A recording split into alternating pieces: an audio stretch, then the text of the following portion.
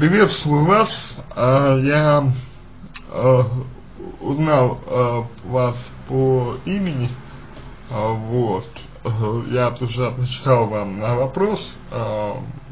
Другой вопрос, правда, отвечал вам. Он у вас был связан с тем, что вы очень любите своего мужа и никогда им не насыщаетесь, то есть по сути вас от него э, завис, зависимость. Вот.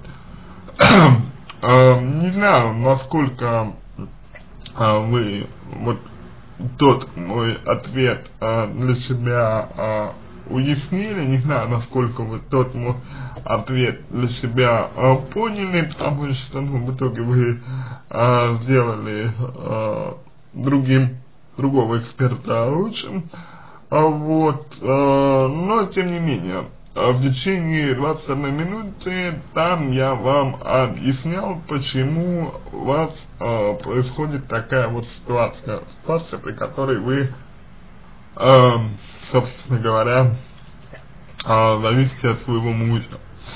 И очень кажется, что как бы данный вопрос продолжение вашей, вашего предыдущего вопроса. То есть вот вам уже э, коллега написал, что зачем любить город, ваш город, из которого уехали ваши мы остается, и ваш вам никуда не денется. Новый город сразу полюбить не обязательно. Его можно изучать, сохраняя, сохраняя наблюдающий видит заинтересованную позицию, по остальному мало информации. Ага, вы знаете, э, что можно сказать? Ну, э, в действительности мы не можем э, любить место э, как таковое. Э, место мы любим э, в основном э, потому, что оно дает нам определенные привычки. То есть место определяет э, наши привычки, вот в котором мы выросли, да, в котором нам было хорошо и так далее. И каждый раз при переезде, особенно если мы не хотим переезжать, то есть вот, э, вот вы говорите, да, приехали в шикарную квартиру. Шикарная это она может быть и шикарная, но вопрос в том, ваша ли она, чувствуете ли вы, что она ваша, а хотели бы вы в нее изначально, было ли это вашим желанием или нет. Если у вас э, было желание переехать э, в другую квартиру, э, то это один момент. Желание переехать в отдельную квартиру, это, э, значит, соответственно, ну, продиктованное определ определенными обстоятельствами вашим потребностям. А когда вы говорите, что вы не можете полюбить город, не можете полюбить то место, где живете, значит, либо вы не хотели переезжать, и тогда что-то вас заставило, может быть, тоже ваш муж, э, как, э, ну, э, который, который, от которого вы так сильно зависите и э, от которого вам э, желательно бы э, ну, от которого вам желательно бы отходить, да, то есть становиться более э, незави независимой и так далее. А, либо э, ожидания не оправдали. Ожидания не оправдались. Вот. Ожидания не оправдались, и э, тогда, тогда если ожидания ваши не оправдались, то это, к сожалению, к сожалению, означает, что, ну, в принципе, э, в принципе, э, у вас, у вас, э, ну, были какие-то вот немного неправ неправильные представления о том, что вам вообще нужно, что вам э, вообще э, необходимо. То есть нет вот этого вот э, поня э, нету понятия, э, нету понятия того, чего, чего вы хотите. Дальше. Э, значит, следующее. Вы хотите убежать из, из этого дома не потому, что вам неприятен сам дом. Э, в самом доме вряд ли есть э, что-то негативное. Э, само место, оно э, несет новые для вас, естественно, впечатления, новые для вас переживания, но по своей сути, по своей, по своей сути и по своей э, природе новое место, еще раз повторю, э, является обезличенным. То есть место это, как вам и сказала моя коллега, это не то, что нужно любить. Место нужно привыкать, место нужно изучать, и так далее, и так далее, и так далее. А вот вопрос, почему вы не, не можете это место полюбить, вопрос, вопрос в том, почему вы не можете э, адаптироваться в этом месте. Вот это связано с тем, что у вас, простите говоря, есть ссоры. Вот вы говорите сами о том, что у вас есть ссоры. А, что вы ссоритесь там со своим мужем, как я понял. Ссоритесь вы а, со своим ну, супругом, потому что от него зависит. И тогда, а, давайте мы с вами как-то постараемся все-таки а, выработать направление, направление а, по тому, а, к чему нам надо двигаться, куда нам надо двигаться. Первое направление это то, зачем вы пере, переехали а, в новое место. Но если а, вам не нравилось, если вы не хотите жить а, в этом районе, да, если вас не устраивает зачем вы переехали? Ради чего, а, ради кого, может быть, вы это сделали? Вопрос этот э, нуждается, на мой взгляд, в большом пояснении, потому что непонятно. Непонятно зачем, непонятно э, для чего, непонятно э, вообще с какой целью вы переезжали, если, вы, если вам нравилось в вашем доме. Ради чего вы это делали? Это первое, мотив. Мотив, э, почему вы оказались в этом доме. Второе. Оправдало ли это ваши ожидания? Если нет, то в чем? Если да, то почему? Далее, в чем конкретно вас здесь хуже? Нечем заниматься, э, неорганизован досуг, неорганизована работа, что-то неудобно и так далее. Это тоже нужно определить. А депрессия – это психическое заболевание, которое диагностируется врачом. И без наличия диагноза нельзя говорить, что у вас именно она, именно депрессия. Вполне может быть депрессивные ссоры, да, ой, депрессивное состояние, да, может быть, но не депрессия. Далее, ссоры и постоянно на нервах. А, вот, наверное, ссоры и являются проблемой. То, то есть, ага, из-за чего вы ссоритесь? Почему вы ссоритесь? Эм, как давно вы ссоритесь? И, э, собственно говоря, основной предмет ваших ссор. Вот это все вам необходимо разобрать. Э, то, то, что вы постоянно на нерв, постоянно какие-то проблемы, это, возможно, отсутствие взаимопонимания вашего, вашего с вашим мужем.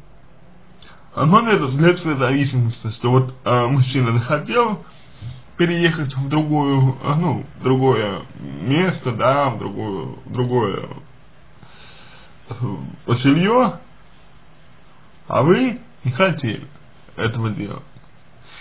И, собственно, тот факт, что вы этого делать не хотели, но сделали ради своего, ради своего мужа.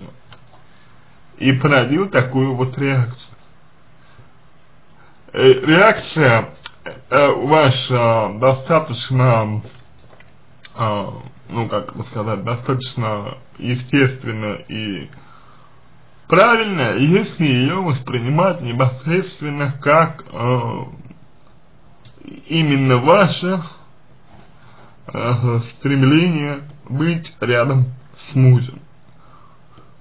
Вот видите, как получается, если э, говорить не о муже, а вообще, то есть то, что вам нужно, например, ради вас, это одно, это совершенно одно.